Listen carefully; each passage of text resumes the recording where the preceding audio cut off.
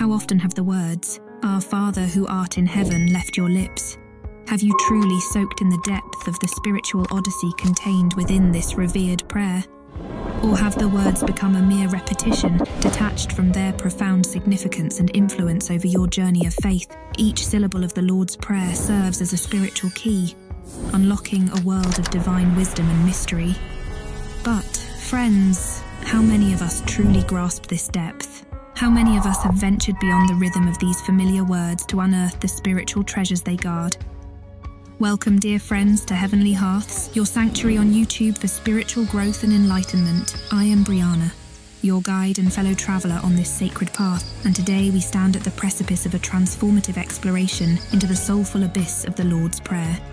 Now, before we embark on this enriching exploration, a Bible study seeped in profound depth and insight, I encourage you to become an integral part of our Heavenly Hearths community. Click that subscribe button and switch on notifications to ensure you don't miss a single step of this spiritual journey. Please give this video a thumbs up, share its wisdom with those you know are seeking a deeper spiritual connection, and leave your testimonies in the comments. Your personal revelations are a testament to God's work and serve to inspire us all on this journey of faith. And let us not forget, dear friends, this video is more than a singular viewing experience. Rather, it stands as an ever flowing wellspring of divine wisdom, continually inviting your return. It is an invitation to an ongoing spiritual journey within the sacred depth of the Lord's Prayer. As we venture deeper into the hidden mysteries of these sacred words, I earnestly encourage you to occasionally press pause there's no need for haste, this journey isn't a sprint, it's a pilgrimage. Afford yourself the grace of time to ponder, to meditate, and to genuinely imbibe the unveiling revelations. Engage in this exploration with not just your eyes and ears, but also your heart and soul. Consider taking notes, jotting down your thoughts and the insights you gain, and capturing the moments of spiritual enlightenment that resonate deeply with you. Through this unhurried, contemplative immersion, may your comprehension of God's Word bloom like a heavenly flower, and your spiritual connection with the divine mature and strengthen. Let us now entwine our hearts in fervent prayer, beloved Heavenly Father as we stand on the threshold of this sacred expedition, delving into the intricate masterpiece woven by your divine words. We beseech your divine guidance. Illuminate our hearts and minds, Lord, as we traverse the hidden spiritual realms of your holy wisdom. In the potent name of Jesus, we ask for a divine impartation of understanding, the spiritual discernment to fully comprehend and embody the profound truths about to be unveiled before us. We prophesy in the powerful name of Jesus that through your word we shall receive healing for our bodies, minds, and spirits. We declare deliverance from every shackle that binds us, every stronghold that hinders us, and every shadow that obscures our divine purpose. In this transformative journey, we decree a spiritual metamorphosis in our lives, an awakening of our true selves, and an intimate communion with your divine presence. We declare that each word, each revelation will become seeds sown in the fertile soil of our hearts, growing into an abundant harvest of faith, hope, and love. We trust in your promises, Lord, confident that this exploration will not just illuminate our minds, but also ignite a flame within us that draws us ever closer to your radiant presence. We pray all this in the mighty, matchless, and miracle working name of Jesus. Amen. Are you ready, dear friends, to embark on this transformational journey? Then let's plunge into the boundless wisdom and divine beauty of the Lord's Prayer.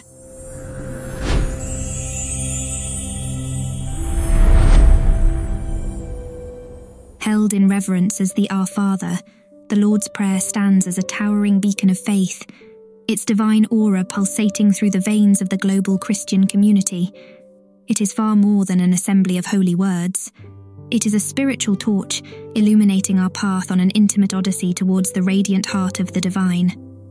This prayer, this sacred legacy, is the divine love letter from our Lord Jesus Christ to his disciples a beacon that glows brightly within the sanctified pages of the New Testament, in the Gospel of Matthew, Matthew 6 9 to 13, and the Gospel of Luke, Luke 11 2 to 4. It is an immortal homage to the Master's teachings, a torchlight guiding us through the shadows of uncertainty. Beneath its visible form, the Lord's Prayer is a treasure chest brimming with spiritual wisdom and profound mysteries. Each spoken word, each moment of contemplative silence resonates with the heartbeat of the divine, forging an ethereal bridge between our mortal soul and the boundless divine cosmos. It is our spiritual Sherpa, guiding us on a sacred pilgrimage towards the deepest recesses of the divine essence, an exploration that tests our faith and fortitude. More than just its textual interpretations, the Lord's Prayer enfolds within its gentle embrace an entire cosmos of spiritual revelations. It beckons each earnest seeker onto a contemplative expedition, a voyage beneath the surface of its words into the heart of its sacred mysteries. This exploration transcends the boundaries of mere intellect, plunging the seeker into a whirlpool of divine wisdom, a transformative immersion that engenders profound spiritual epiphanies and an elevated sense of divine intimacy. This prayer, a divine benediction breathed into our lives by our Lord Jesus Christ Himself, pulsates with extraordinary power. It is a spiritual summons that echoes with the ability to birth miracles, an indispensable weapon for those engaged in the fierce battlefields of spiritual warfare. The Lord's Prayer stands as an impenetrable heavenly shield, safeguarding the faithful against the fiery darts of adversity and fortifying their spirit with divine resilience. Moreover, the Lord's Prayer is a reflection of God's unending love and commitment to humanity, His beloved creation. It carries within its verses a spiritual DNA, a sacred blueprint of the divine human relationship, infused with relentless love, steadfast trust, and infinite grace. When spoken with sincerity and devotion, it has the power to illuminate the winding road to God's kingdom fuse the human spirit with divine consciousness, and revolutionize lives with its supernatural potency. Each syllable of the Lord's Prayer is drenched in divine potential, inviting the faithful to venture into a deeper personal dialogue with God. This prayer, divinely orchestrated by Jesus himself, is an open invitation to all seekers. It beckons them onto a spiritual journey that transcends the temporal confines of earthly existence thrusting them into the vast expanse of divine love and mystical union. This is the profound spiritual pilgrimage the Lord's Prayer unfolds before us, a journey that is as expansive, profound, and boundless as the ocean of divine love it mirrors, stirring our souls and leaving us yearning for more. The Lord's Prayer goes as follows Our Father in heaven, may your name be kept holy. Let your kingdom come. Let your will be done as in heaven, so on earth. Give us today our daily bread. Forgive us our debts as we also forgive our debtors. Bring us not into temptation, but deliver us from the evil one. For yours is the kingdom, the power, and the glory forever. Amen. Now let's explore the meaning of each line in the prayer.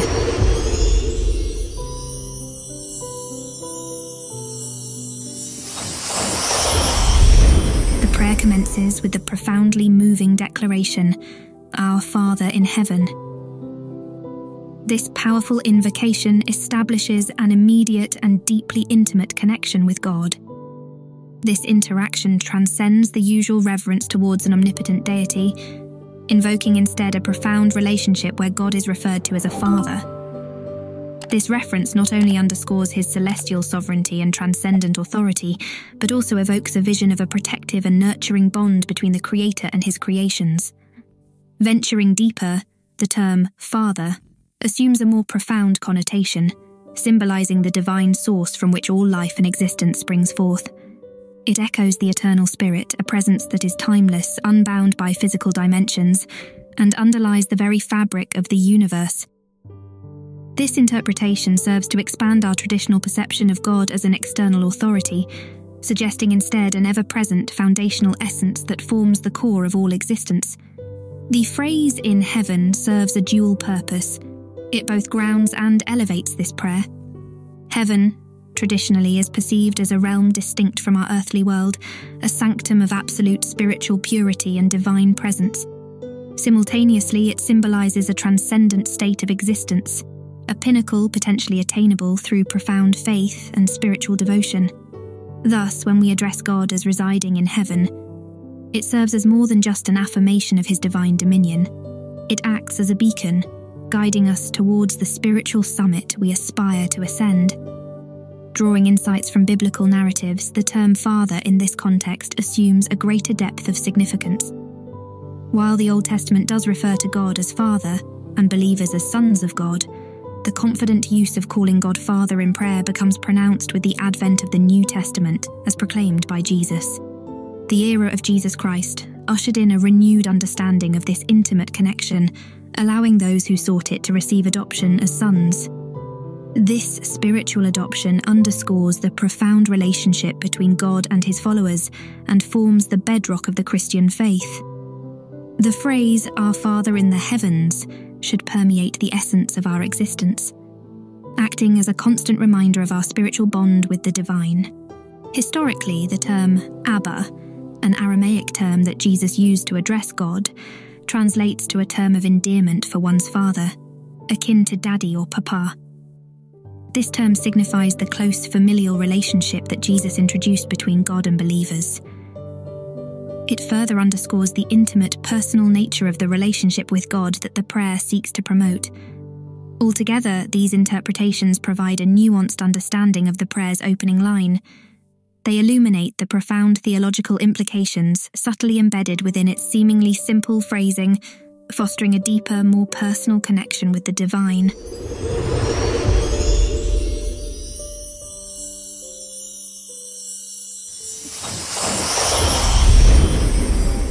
The phrase, let your name be kept holy, forms an integral part of the Lord's Prayer.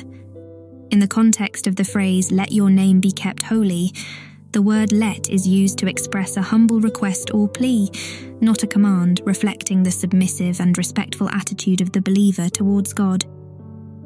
The word your fosters a sense of personal and intimate connection with the divine, reminding us of our unique and personal relationship with God. This sense of intimacy and personal relationship is a continuation of the address to God as our Father, further establishing the individual and personal connection with the divine. The term name in biblical context often signifies more than a mere identifier. It represents the very essence and character of God, embodying his nature and attributes. For instance, in Exodus 3:14, God revealed his name to Moses as I am who I am, signifying his eternal and self existent nature. Thus, God's name encapsulates the totality of divine existence, going beyond human comprehension and language. The verb be in its infinitive form signifies a state of existence, a recognition of God's eternal and ever present nature. The word kept acts as a directive for preservation and protection, emphasizing the responsibility of believers in safeguarding the sanctity and reverence of God's name in their lives. This is a recurring theme throughout the Bible, as seen in the Ten Commandments, where it instructs not to take the Lord's name in vain. Exodus 27. The adjective holy accentuates the pure, sacred, and set apart nature of God's name. Throughout the Bible, God's holiness is repeatedly affirmed. In Isaiah 6 3, the seraphim cry out, Holy, holy, holy is the Lord of hosts. The whole earth is full of his glory. From a mystical viewpoint, the phrase, let your name be kept holy, is an invitation to respect, recognize, and protect the divinity symbolized by God's name. It is a conscious commitment to honor the sacredness of God's name, a statement that invites a resonation within our hearts, establishing a deeper emotional and spiritual connection one. Thus, let your name be kept holy is not just a phrase within a prayer, but a profound theological statement that encapsulates a wealth of spiritual truths and implications. It serves both as an expression of reverence for God's sacredness and a directive for believers to continually uphold the sanctity of God's name in their lives. This humble and honouring declaration, while simple in its phrasing, carries a profound spiritual depth, inspiring believers to align their lives with the sacredness that the divine name embodies, encouraging a lived reverence that reaches far beyond the prayer itself.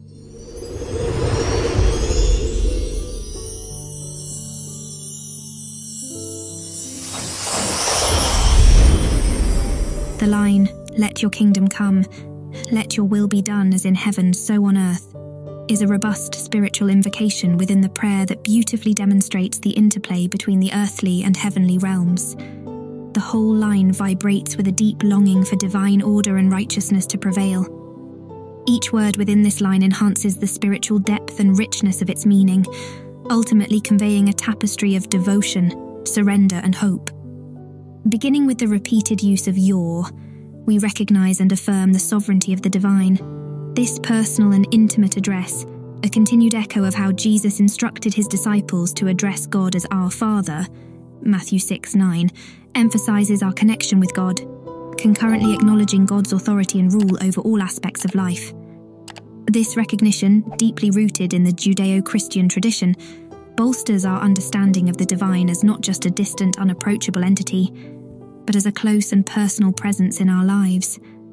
The term kingdom signifies not merely a physical realm, but a state of divine consciousness, a sphere of God's rule and influence. It's a spiritual realm that can be embodied within oneself. When we express Your kingdom come, it unveils an earnest desire for this divine consciousness to manifest within us and in the world around us, essentially orienting our inward gaze towards the divine. The verb come is a respectful plea signifying our active longing and anticipation for the divine's kingdom to become manifest.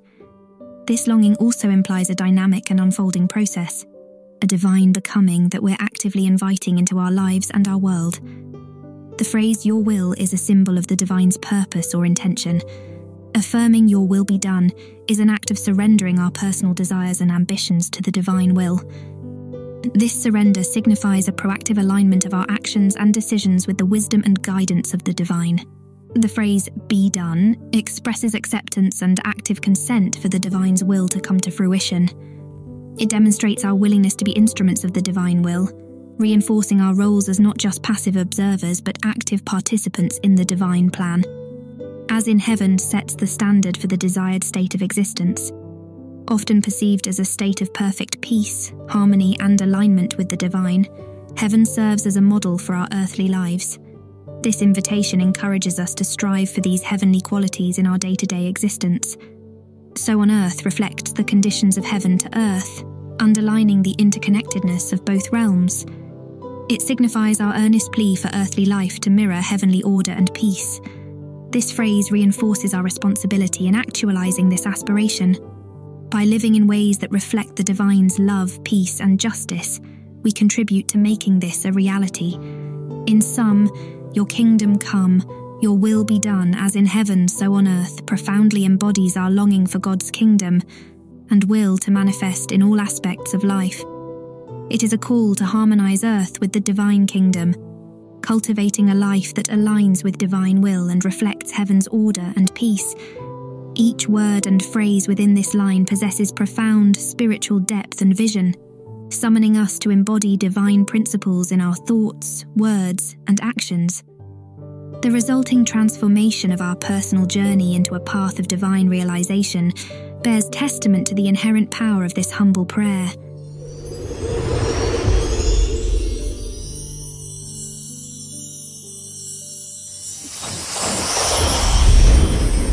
The line, Give us today our daily bread, from the Lord's Prayer found in Matthew 6:11, represents a dual appeal addressing both physical and spiritual necessities. Its depth is rooted in the rich historical and theological traditions of the biblical era. It's a humble entreaty for life's fundamental necessities, signifying our reliance on divine provision as noted in Proverbs 30. 8. Remove far from me falsehood and lies Give me neither poverty nor riches. Feed me with the food that is needful for me. This is a clear reflection of our dependence on God's benevolence, acknowledging that all our sustenance is ultimately a gift from Him. Simultaneously, this phrase transcends the material realm. When seen through the mystical lens of spiritual symbolism, the daily bread becomes emblematic of the spiritual nourishment our souls yearn for throughout their journey.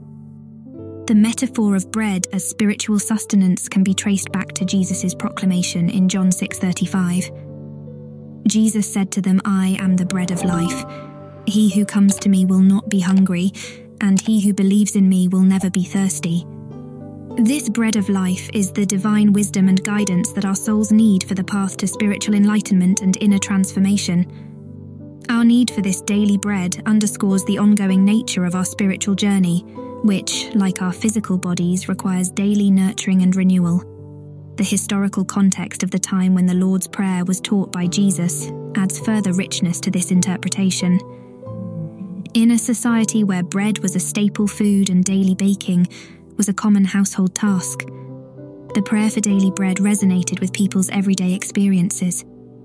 They understood that just as their bodies needed bread for sustenance, their spirits required God's word for spiritual growth. Together, these interpretations of Give Us Today Our Daily Bread reveal the multifaceted richness and depth of this simple request. It serves as an acknowledgement of our human dependence on divine providence for our physical needs, while simultaneously illustrating our spiritual reliance on divine wisdom for our soul's journey. As such, it becomes a prayer within a prayer, a harmonious blend of earthly and heavenly requests, mirroring our dual call for physical and spiritual sustenance from the divine. This profound understanding of our dual dependency on God reminds us of the apostle Paul's words in Philippians 4:19, "My God will supply every need of yours according to his riches in glory in Christ Jesus." Thus the prayer for daily bread is a testament to our human need, our divine potential, and our constant reliance on God's grace. Give. This potent verb is not just a request, it's a profound entreaty signifying our heartfelt recognition of God as the wellspring of all we need, both tangibly and spiritually. It echoes a posture of open hearted receptivity and grateful acceptance, a stark contrast to the attitudes of clutching or self sufficiency. Us. The employment of the first person plural pronoun amplifies the communal essence of the appeal. It serves as a stark reminder that we exist within the fabric of a broader, interconnected community. This pronoun articulates our shared human condition and the collective need for sustenance that binds all of humanity together. Today, this temporal term underscores the immediacy and perpetual nature of our dependence on God. It illuminates the ongoing reciprocity between our needs and God's ceaseless provision, advocating for a focus on the needs of the present day and a relinquishment of anxiety for the future. Our this possessive pronoun personalizes and intensifies the request, encapsulating the intimate and individual relationship we share with the divine. It serves as a reminder that God's provisions are intricately tailored to our individual needs, both physically and spiritually. Daily. This term underscores the relentless rhythm of our need for sustenance. Just as our physical bodies require the regular intake of food, our souls crave daily spiritual nourishment in the form of divine wisdom and guidance akin to the manna that the Israelites received daily in the wilderness as described in Exodus 16. Bread. While on the surface it symbolizes food in a spiritual context, bread embodies the divine wisdom that feeds our soul. It becomes a dual symbol of life sustaining physical sustenance and the spiritual nourishment crucial for our spiritual odyssey, reminiscent of Christ's words in Matthew 4 4. Man shall not live by bread alone, but by every word that proceeds out of the mouth of God. When we weave together these individual word meanings with the overall interpretations of the phrase, Give us today our daily bread, it emerges as an earnest plea for both physical sustenance and spiritual nourishment. This dual invocation is a profound acknowledgement of our human and spiritual dependence on God's providence. It is a humble admission of our unending need for God's nourishment in all aspects of our lives, fostering a daily relationship with the divine that nurtures not just our bodies, but also our souls, aligning with Jesus' teaching in John 15:5. Apart from me, you can do nothing.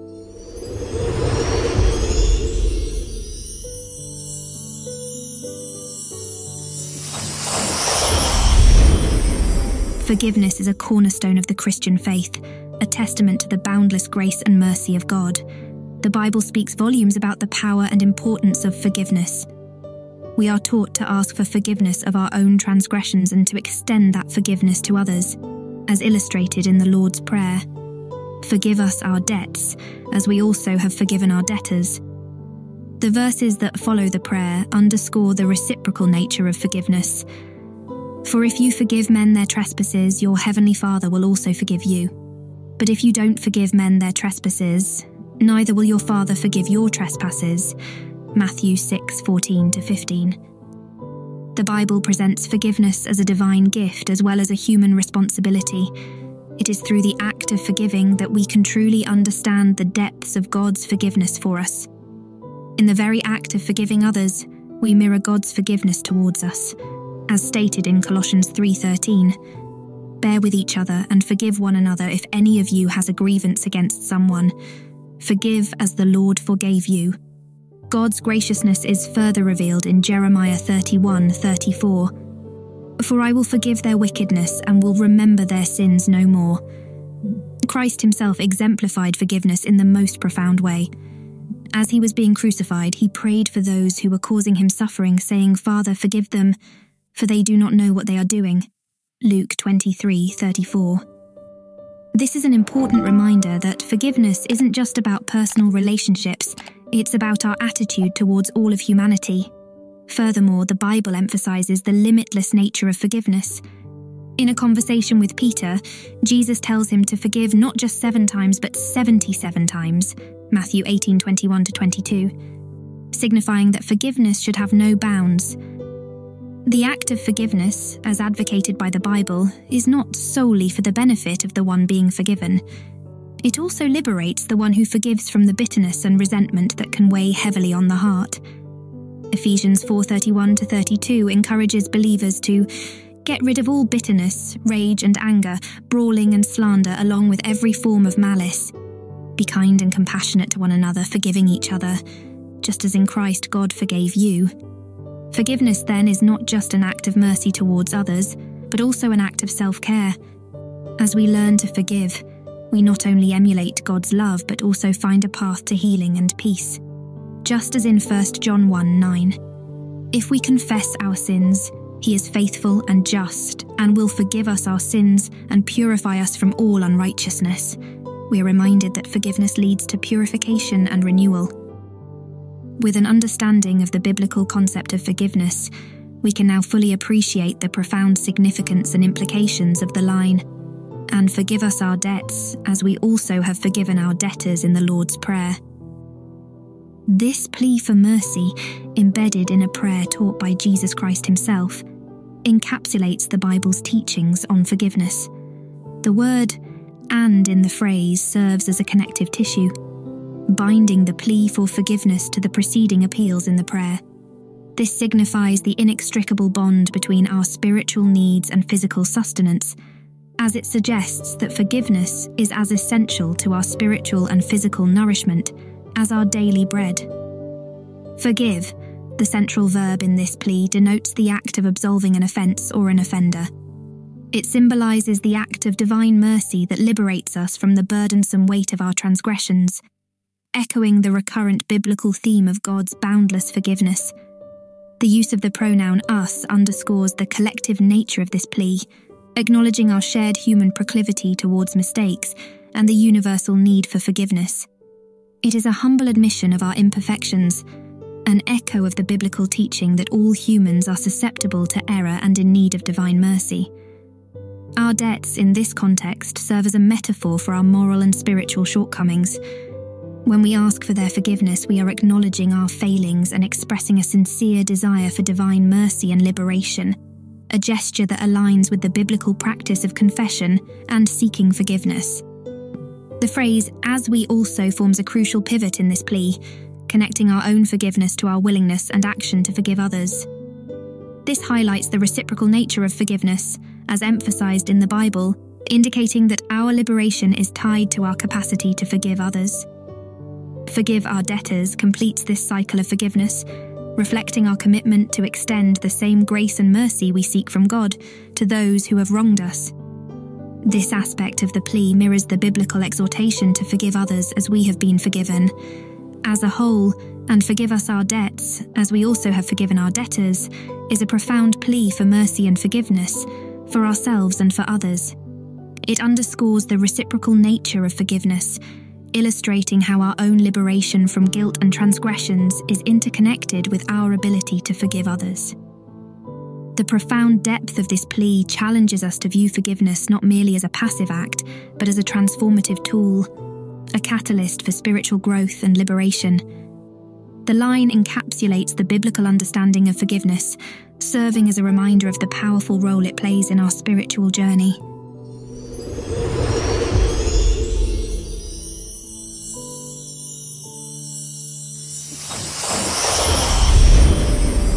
The phrase and lead us not into temptation in Matthew 6:13 conveys profound nuances of human vulnerability and divine guidance, acknowledging our susceptibility to temptation and our need for God's strength to resist it.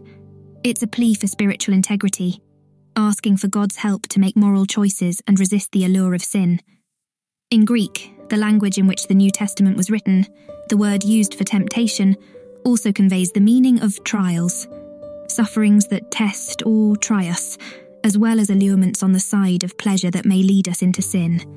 Thus, the phrase doesn't suggest that God would lead us into sinful temptation, James 1:13 to 14, but rather it recognizes that life's trials, whether they be spiritual conflicts, persecutions, or personal hardships, can pose significant challenges. The conscious awareness of our weaknesses and the potential to fail in these trials prompts this request.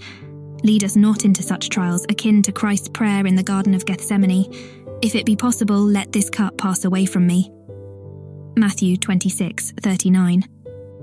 Beyond its literal interpretation, and lead us not into temptation, articulates a spiritual yearning for a deeper communion with the divine it's an appeal to God to guide us away from earthly distractions and attachments that impede our spiritual growth.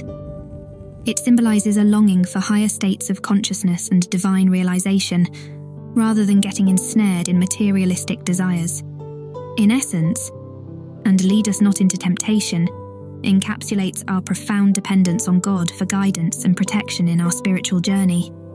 It acknowledges the trials and temptations we encounter in life underscoring our reliance on the divine intervention to resist the allure of sin, withstand adversity, and maintain our focus on spiritual growth. Now let's delve deeper into the phrase, and lead us not into temptation, by examining it from a lexical viewpoint. The conjunction and acts as a bridge, binding previous supplications with this particular plea.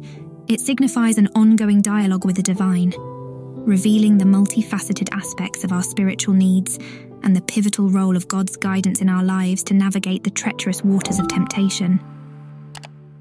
Lead is not a mere verb, it's a beacon of divine guidance and instruction. This word signifies more than direction. It encapsulates the idea of our absolute reliance on God's wisdom, embodying our trust and confidence in His unerring navigation through life's complexities. The term us is not just a pronoun, but a unifying cry echoing the collective human experience. It underscores the shared struggles of humanity against the snares of temptation and our communal need for divine guidance. This collective plea acknowledges the universal struggle against moral pitfalls, emphasizing our shared need for God's intervention. Not is a small word, with substantial weight in this context. This negation forms the kernel of the plea, it underscores our yearning for God's guidance to help us bypass the potential quagmires that could ensnare us in moral failings. Into temptation serves as a metaphorical representation of situations or actions that might divert us from our spiritual journey. Temptation, in this sense, symbolizes the gravitational pull of worldly desires and distractions. Our plea not to be led into temptation articulates our deep seated longing to remain tethered to the divine's path resisting the forces that might pull us astray. When combined, the phrase, and lead us not into temptation, emerges as a potent testament to our dependence on God's guidance to sidestep moral and spiritual pitfalls. It underscores the indispensable role of divine wisdom and fortitude in resisting temptations, and resonates with our aspiration to maintain alignment with the path of righteousness. The profound spiritual resonance of this plea urges us to transcend the ephemeral distractions and attachments of the material world, propelling us towards spiritual growth and divine realization. It is a plea that echoes the sentiments we've previously analysed, illustrating a recurring theme of humility before the divine, the yearning for spiritual purity, and the recognition of our human frailty.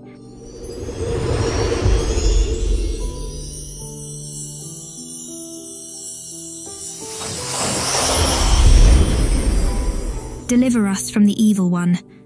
The culminating entreaty in the Lord's Prayer is a profound plea for divine intervention against malignant forces, both visible and invisible. It does not merely acknowledge the existence of evil, it illuminates its pervasive, inescapable presence in our world, broadcasting a deep rooted yearning for divine rescue and salvation. The phrase itself, drawn from Matthew 6:13 of the World English Bible, can be examined from various perspectives. The evil one has been interpreted by many scholars as a reference to Satan, but it's worth noting that the original Greek text is somewhat ambiguous. It could refer either to evil in a general sense or to a personification of evil, namely the devil. However, most modern translations, including the WEB, lean towards the latter interpretation, as it is believed to reflect the theology of the first century more accurately. At first glance, deliver us from the evil one is a clarion call to the divine, a beacon lit against the encroaching shadows of malevolent forces. It underscores the tangible reality of wickedness in the world, recognizing its potential to deceive, to corrupt, and to inflict harm. In this supplication, we declare our need for God's salvation, confessing his omnipotence and our reliance on his divine shield to safeguard us from pernicious influences. In 2017, Pope Francis proposed changing the wording of this passage to Do not let us fall into temptation, highlighting the theological debate around the nature of evil and the role of God in leading or not leading humans into sin. This interpretation suggests that God does not actively push people into temptation, but rather allows them to fall, emphasizing the human responsibility in the face of evil. This interpretation also relates to the concept of peirasmos in the original Greek, which can mean both temptation and a test of character. The plea to be delivered from evil also resonates with the concept of spiritual warfare mentioned in other parts of the Bible, such as in the Epistle of Jude 124. The verse speaks of God's ability to keep us from falling and to cause us to stand, rejoicing without blemish before his glorious presence, indicating that prayer is key to spiritual protection and victory. This spiritual warfare is not an abstract concept. It is as real and tangible as the physical world around us. We are not solitary players in this cosmic drama, but are part of a larger spiritual community. Some choose to worship the God of light, aligning themselves with his divine power and love. Others, however, turn towards the Prince of Darkness, drawn to his false promises of power and domination. In essence, deliver us from the evil one serves as a potent spiritual cry. It paints a vivid picture of our need for divine intervention to shield us from both physical and spiritual afflictions, and to guide us towards salvation. It is a request for protection, not just for ourselves, but for all of God's children who are embroiled in this spiritual warfare. However, a comprehensive understanding of this phrase in historical context was not achieved within the time constraints. For instance, how this plea was interpreted and used during different periods of history, or its role in shaping cultural, political, and social narratives, requires further exploration. Nonetheless, the interpretations mentioned provide a robust foundation for understanding the biblical significance of this potent plea in the Lord's Prayer. Delving deeper into the plea, but this small yet potent word serves as a fulcrum, adroitly linking the preceding entreaty with the prayer's climactic plea.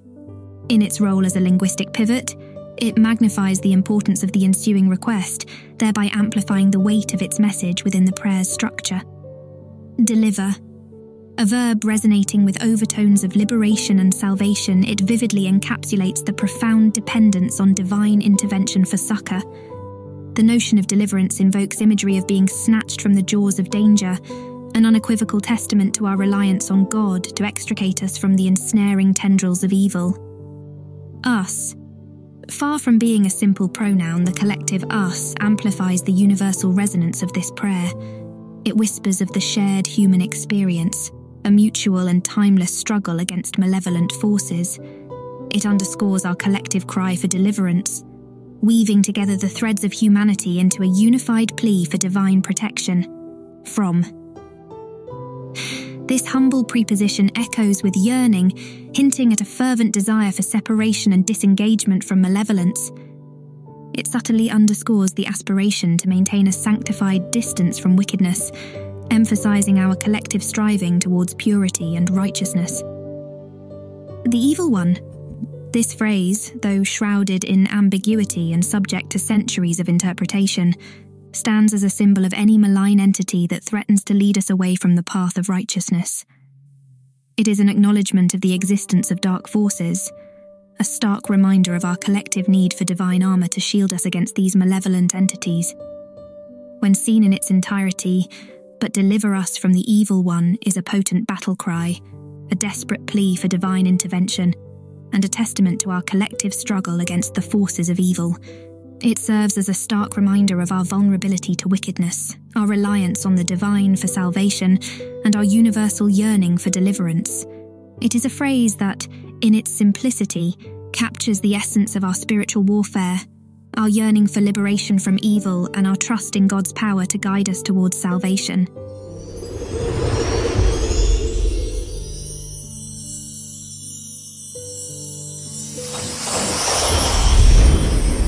The phrase, for thine is the kingdom and the power and the glory forever, is a point of contention in the Lord's Prayer. While present in the World English Bible, WEB, and the King James Version, KJV, it is absent in others such as the New International Version, NIV, the New Revised Standard Version, NRSV, and the English Standard Version, ESV. This inconsistency has sparked ongoing debates among biblical scholars the oldest Greek manuscripts of the Bible, including the Sinaiticus and Vaticanus from the 4th century, the Bezae from the 5th century, and the Dublinensis from the 6th century, do not contain this phrase. The same absence is noticed in the writings of early theologians like Tertullian, Origen, Cyprian, Ambrose, and Augustine. This suggests that the doxology was likely not a part of the original Lord's Prayer. However, the 2nd century Didache does provide an early reference to the phrase, though it does not mention the kingdom. The phrase appears increasingly in later Greek manuscripts and theological writings over time. The inclusion of the phrase into Matthew 6:13 may have been an editorial doxological addition first in the Didache, later refined to include the kingdom. It appears to have been included to facilitate a worshipful reading of the passage, despite probably not originally being part of Matthew's Gospel. Indeed, several biblical passages like 1 Chronicles 29, 11, Revelation 4, 11, and Romans 11:36 share similar sentiments about God's power and glory. 1 Chronicles 29:11 Yours, Yahweh, is the greatness, the power, the glory, the victory, and the majesty. For all that is in the heavens and in the earth is yours. Yours is the kingdom, Yahweh, and you are exalted as head above all. Revelation 4:11 Worthy are you, our Lord and God, the Holy One, to receive the glory, the honour, and the power, for you created all things, and because of your desire they existed and were created. Romans 11:36. For of him and through him and to him are all things, to him be the glory forever. Amen. The English wording of the Lord's Prayer that Protestants use today reflects the version based on Tyndale's English version of the Bible from 1525 this version didn't become part of the liturgical tradition of Western Christendom until the 1637 Scottish Book of Common Prayer. Notably, many early church fathers, such as Jerome, Gregory the Great, Ambrose, and Augustine, did not include the phrase in their references to the Lord's Prayer. The doxology may have been used as a conclusion to the original prayer in ancient liturgical settings, as suggested by its presence in the Didache and the 4th century apostolic constitutions. The evidence suggests that a scribe, likely familiar with the liturgy, may have added the doxology while copying the Lord's Prayer passage. This addition then found its way into later translations of the Bible itself. Early Protestants used the majority text as their source for their own Bible translations in the 16th century. This resulted in the inclusion of the phrase as if it were part of the original Gospel writings. In England, Tyndale's translation, which included it, gained prominence, especially after it was mandated for worship when Henry VIII split from the Catholic Church. Its inclusion in the Anglican Book of Common Prayer during Queen Elizabeth's reign, and subsequent adoption by the Puritans who brought it to America, further solidified the addition of the phrase. In this reverential conclusion to the Lord's Prayer, each word is laden with profound symbolism and resonant meanings. 4 a conjunction that bridges the preceding supplications with this final acclamation, effectively knitting the prayer into a coherent, flowing whole. Yours, a demonstrative possessive pronoun which concedes God's undisputed sovereignty and absolute supremacy over everything that ensues the kingdom, power, and glory. is. This verb, a testament to being and existence, underpins the perpetual, unwavering, and timeless nature of God's dominion and grandeur. The kingdom. This phrase, echoing far beyond the borders of a physical realm, signifies God's comprehensive reign over the entirety of creation. The power, an admission of God's omnipotence and supreme reign, an affirmation of his capacity to carry out his divine will in any and all circumstances. And the glory. This phrase magnifies God's resplendent majesty and honour, illuminating the awe and veneration he is owed. Forever, an invocation of the infinite, this word amplifies the ceaseless and eternal dimension of God's kingdom, power, and glory. It is a reverent recognition of the immortality of his reign. Amen. This term, a potent affirmation, is a gesture of consensus or approval. It signals the conclusion of the prayer, reflecting our endorsement of all that has been invoked. In its essence, for yours is the kingdom, the power, and the glory forever. Amen serves as a grand finale to the Lord's Prayer. It is a salutation to God's unending sovereignty, His ultimate authority, and His eternal splendour. This concluding phrase is not merely a statement, it is a profound reminder of our position within God's cosmos and our intimate bond with Him. It seals the prayer with a gesture of humble submission, reverence, and a confirmation of our faith in the divine's everlasting dominion and majesty delving deeper into the mystical realm, it underlines the transcendental aspect of the divine, summoning us to acknowledge and revere the eternal, all powerful, and radiant presence of God in our existence. We have ventured together through the spiritual intricacies of the Lord's Prayer, touching on its divine power and beauty, as well as the celestial profundity contained within each word. The phrase, For yours is the kingdom, the power, and the glory forever, Amen, serves not merely as the grand finale of this revered prayer, but also as an exalted tribute to God's everlasting sovereignty, His supreme authority, and His eternal magnificence.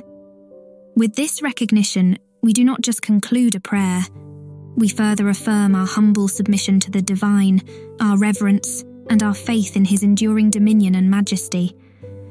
We're summoned to the mystical depths invited to continually acknowledge and revere the eternal, omnipotent, and radiant presence of God in our lives. As we conclude this spiritual exploration, let us now unite our hearts in an intensified prayer, a testament of prophecy.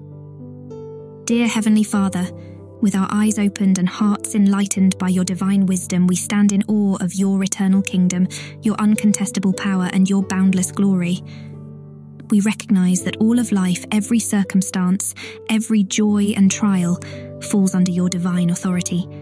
We prophesy over our lives and declare that through every season, your kingdom principles guide us, your power strengthens us, and your glory is the beacon that illuminates our path.